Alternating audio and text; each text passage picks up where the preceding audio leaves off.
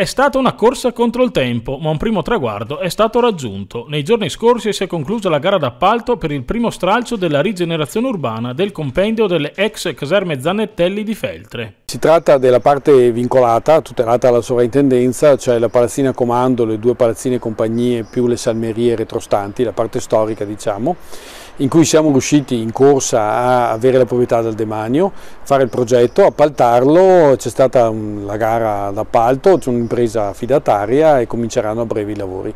Dovremo fare una gran corsa per la conclusione prevista per la primavera del 26. Un'operazione alla quale si lavora da una decina d'anni e che ora finalmente prenderà forma. Il primo stralcio vale in totale 5.708.972 euro, finanziati dal PNRR per 5 milioni. Altri 700.000 euro sono finanziati con i fondi per i comuni di confine, mentre la parte restante è a carico del comune di Feltre. La palazzina a comando viene recuperata interamente e vengono, vengono trasferiti i vigili urbani che avranno finalmente una sede dignitosa e anche un presidio perché il compendio della caserma è molto esteso e ha bisogno anche di un controllo. Diciamo.